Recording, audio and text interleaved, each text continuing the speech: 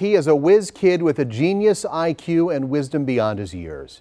Carole Meekins introduces us to a 14-year-old student at Carroll University whose overwhelming optimism is positively Milwaukee. At Carroll University, you find a young student who's at the top of his class. He started college at only 14 years old. And after I talked to him, I learned quickly he is wise beyond his years. Here at Carroll University, you'll find fresh-faced students eager to learn, but one young student is in a class all by himself. Monica. I'm on a card, right? Correct. Anthony Sikorsky, a whiz from Waukesha, who's only 14 years old.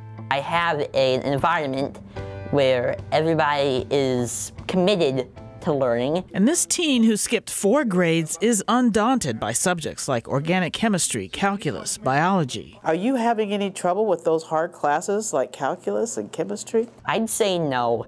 Carroll University biology professor Dr. Todd Levin has witnessed Anthony's thirst for knowledge. It's so wonderful to watch him pick it at all these ideas and, and get attached to them and learn about them. And I suspect that he's going to discover paths that he didn't know existed and none of us would have expected for him. This brainy scholar started to read at two years old. Anthony's mom, Jill Sikorsky, shares. We filled his life with books. We filled his life with classical music. Um, we, would, we lived at the library. He was invited to the White House as a presidential scholar. This Arrowhead High School graduate is earning A's in college. He is profoundly gifted, he has an IQ of over 180. He's been tested so many times, but that's not what makes him special. And that's true. Anthony's genius is just part of the story. He must fit in classwork between monitoring chronic health conditions. He has cystic fibrosis. He also has um, adrenal insufficiency.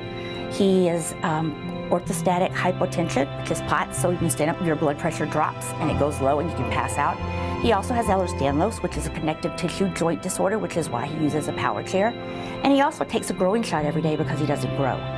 Two and a half hours a day are spent using his vest and taking dozens of pills. This is his everyday medication. Every day he takes about 55 pills. But don't think Anthony uses health challenges as an excuse to avoid work. Nobody should treat me differently than anyone else. And health issues have not diminished Anthony's spirit. He's warm, inviting, and overwhelmingly optimistic. You have to maintain a positive outlook overall on life in spite of these difficulties. If you find at least one thing that's gone well for you in a day, then that day is a good day.